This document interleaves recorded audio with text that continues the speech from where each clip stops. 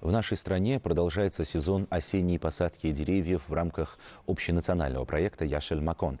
В ней активно участвуют и сотрудники органов внутренних дел Джизакской области.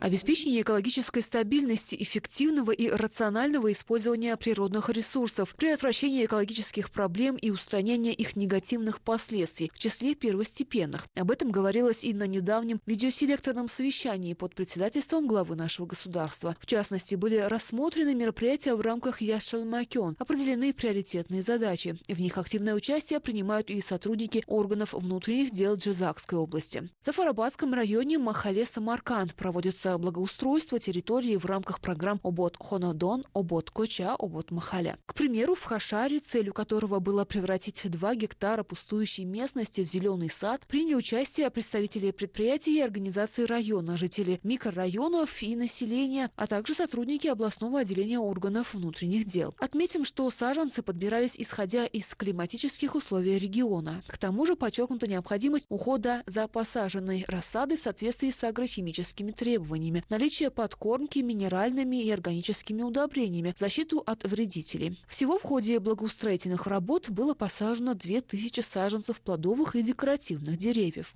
Вместе с тем, областным управлением внутренних дел был реализован еще один проект – разбить сад на массиве Новый Узбекистан на территории Махали, Октош-Ота, Шарафрашидовского района. Здесь, учитывая природные особенности деревьев, уже посажено 600 плодовых и декоративных саженцев. Вопросу полива также уделяется большое внимание.